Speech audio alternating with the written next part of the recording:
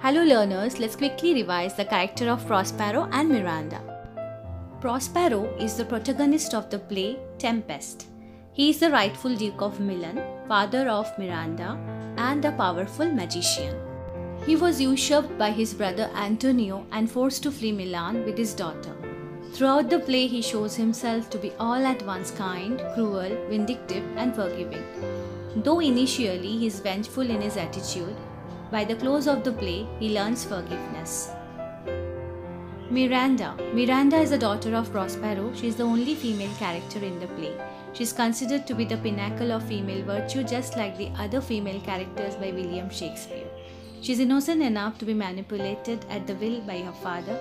She is an obedient daughter and compassionate by nature. Her love for Ferdinand is steadfast and serene, and her emotions are well controlled throughout the play.